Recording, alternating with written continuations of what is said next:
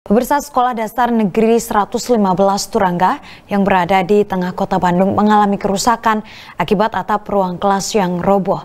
Kondisi ruangan yang rusak membuat siswa harus bergantian untuk menggunakan ruang kelas. Ruang kelas yang awalnya ada enam ruang kelas, kini hanya ada empat ruang kelas dengan jumlah siswa sebanyak 260 siswa.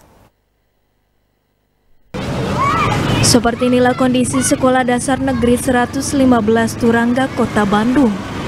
Kondisi sekolah yang seharusnya lebih bagus karena berada di tengah-tengah kota ini, ternyata harus menerima kondisi ruangan kelas yang rusak akibat atap ruang kelas yang roboh. Proses belajar mengajar pun terganggu, sehingga sebagian siswa harus melakukan proses belajar di siang hari.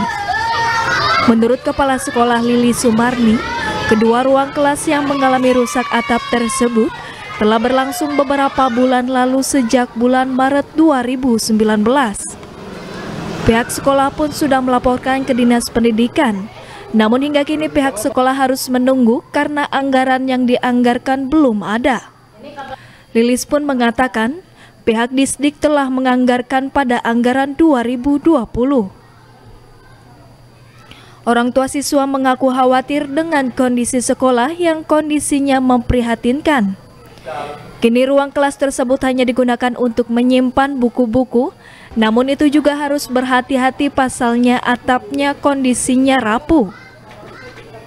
Di SD kami ini kemarin kejadian eh, ambruk, yaitu atap ruangan kelas 1 dan atap ruang kelas 2. Pertama atap ruang kelas 1 yaitu ini eh, ambruk di bulan Maret 2018. Kami langsung laporan kepada Disdik ke bagian Sarpras. Alhamdulillah ditangani. Dia langsung datang ke sekolah kami. Cuma mungkin dia eh, nggak eh, tahu gimana aturannya mungkin ya pelaporan bulan eh tahun 2018 itu diinikannya katanya tahun 20. Sekolah terakhir mendapatkan renovasi pada tahun 2006. Bangunan sekolah yang termakan usia membuat atap ruang kelas rapuh dan rubuh. Pihak sekolah berharap Pemkot dapat segera bertindak karena khawatir ruang kelas siswa semakin rusak. Nah, eh, Yuana Kurniawan, Bandung TV.